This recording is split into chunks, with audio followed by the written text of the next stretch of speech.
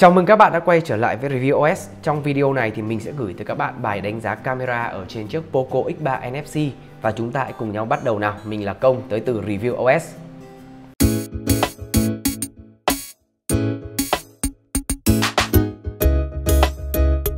Ứng dụng thực tế luôn là một buổi mà mình có rủ Diễm đi để chụp thì đầu tiên mình có ra ngoài và chụp bức ảnh ở ngoài trời để xem là trong điều kiện đủ sáng sẽ thế nào thì như các bạn thấy là với góc thường trước đi, thì máy bắt nét khá là nhanh, nhìn được cả hạt mưa đang rơi, dòng người đang đi. Và tất nhiên là trời mưa to thế này thì không thể nào mà ánh sáng mạnh được rồi.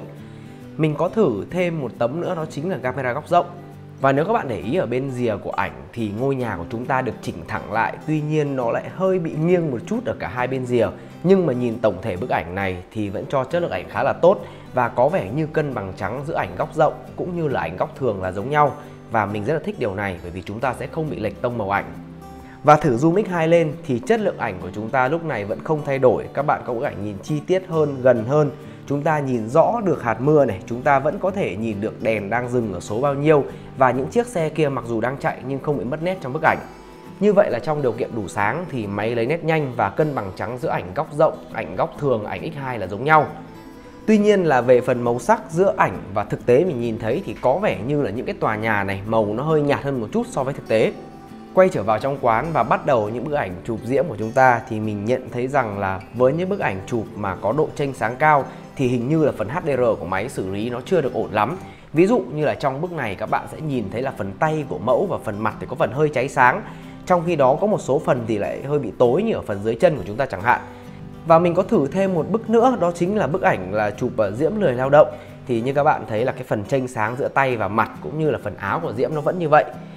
Tuy nhiên, tổng quan bức ảnh này thì phần màu sắc của chúng ta được giữ lại tốt, cân bằng trắng của máy cũng ok, phần màu da của mẫu nhìn khá là ổn. Cái tông da này làm cho mình thấy hài hòa, nó không bị quá khó chịu. Cái điểm duy nhất làm cho mình thấy chưa hài lòng chỉ là phần cân bằng giữa vùng sáng vùng tối mà thôi.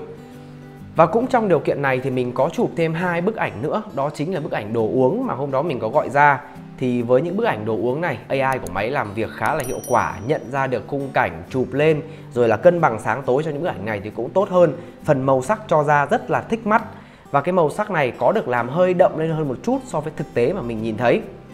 Và cũng trong cái điều kiện ánh sáng hơi thiếu thốn đó thì mình quyết định là rủ Diễm chụp bức ảnh chân dung để xem là khả năng xóa phông của Poco X3 như thế nào và các bạn thấy rằng là máy xóa phông trông có vẻ khá là ngon Cái lượng tóc bị lem ra ngoài thì chỉ là vài cái cọng tóc nhỏ của Diễm mà thôi.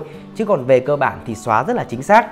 Mặc dù là background phía đằng sau của Diễm thì mình thấy rằng cũng không hề đơn giản một chút nào cả. Phức tạp Có nhiều yếu tố nào là cái tủ đựng áo, nào là phần chỉ, rồi nào là chữ đừng lười lao động. Nhưng mà xóa vẫn ok như thế này thì mình đánh giá rằng là xóa phông tốt. Tới với lại phần selfie thì mình tin rằng chiếc máy này sẽ không chỉ dành cho anh em mà chị em cũng có thể sở hữu được bởi vì Diễm đã cảm thấy hài lòng với chiếc máy này. Như các bạn thấy trong ảnh này, phần màu da nhìn rất là ưng ý đúng không? Trông trắng, trông mịn và máy làm đẹp thì cũng khá là tự nhiên. Và ở đây thì mình đã có thử luôn chế độ chụp ảnh chân dung ở camera trước thì cái phần xóa phông của chúng ta cũng như camera sau nhưng mà bị lem nhiều hơn một chút và tất nhiên những cái phần bị lem này thì vẫn là những cái phần tóc của Diễm, nó gọi là những cái phần tóc tơ của chúng ta đấy, nó bị lem nhiều hơn. Chứ còn về cơ bản thì chủ thể vẫn được xóa chính xác và background phía sau. Như các bạn thấy lại một lần nữa cũng khá phức tạp, lại còn tranh sáng, tranh tối. Mời các bạn nhìn thêm một bức ảnh nữa, cũng là ảnh selfie của Diễm với một cái dáng trông rất là tinh nghịch. Để các bạn có thể thấy được rằng là chất lượng selfie của Poco X3 NFC không hề thua kém bất kỳ một máy tầm trung nào trong cái khoảng giá này. Tới với lại chụp ảnh đêm thì đầu tiên là bức ảnh mình chụp một cô bán hàng. Đây là điều kiện đèn đường các bạn nhé thì chúng ta thấy rằng là chi tiết trong bức ảnh vẫn được giữ lại khá là tốt và cân bằng trắng của ảnh đúng với những gì mình nhìn thấy. Tức là đèn đường màu vàng thì ảnh chụp ra cũng là màu vàng là chính. Và những cái phần đồ ở trong xe hàng thì đều giữ lại chi tiết rất là tốt.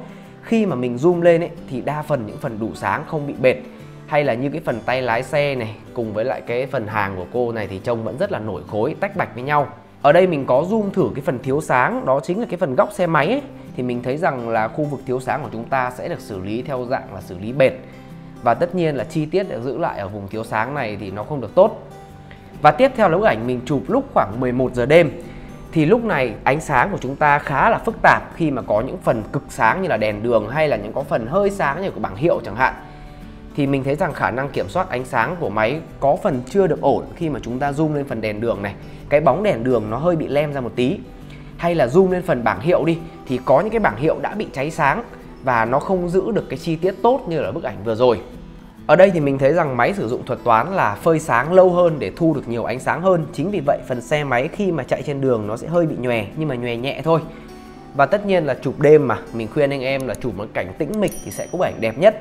Còn về đánh giá tổng thể với Poco X3 FC mà nói chụp đêm có ngon không, Thì trong tầm giá 8 triệu đồng chụp đêm như thế này là ngon rồi anh em ạ không có quá nhiều để mà mình phải phàn nàn với chiếc máy này và mình biết là anh em Xiaomi còn hay cài thêm Google Cam nữa, đúng không?